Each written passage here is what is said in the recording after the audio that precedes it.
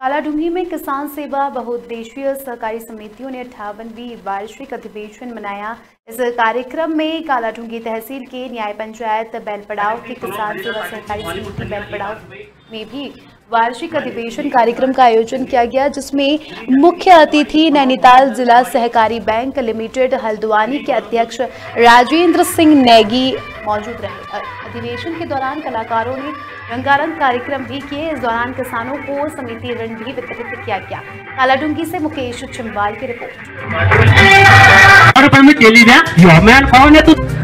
हमारी समिति का इस वित्तीय वर्ष में व्यय आय हुई हमारी पैंसठ लाख अस्सी हज़ार रूपए व्यय हमारा हुआ है उनसठ लाख अड़तालीस हज़ार रूपए, जिसमें हमने लाभ अर्जित किया है छह लाख बत्तीस हज़ार रूपए, और आज तक की हमारी कुल आय इकतालीस लाख अट्ठानबे हज़ार रूपए दर्ज की गई है।